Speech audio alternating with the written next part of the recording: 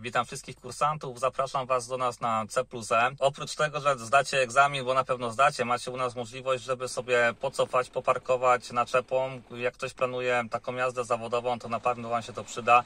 W żadnej innej szkole nie jesteście się w stanie tego nauczyć, bo żadna inna szkoła czegoś takiego nie ma, więc serdecznie zapraszamy. Możecie zgłaszać się do mnie, nawet jeśli nie jeździcie ze mną, a jesteście na kursie w Automie, sobie jeździć, uczyć się parkować z naczepą. Zapraszam.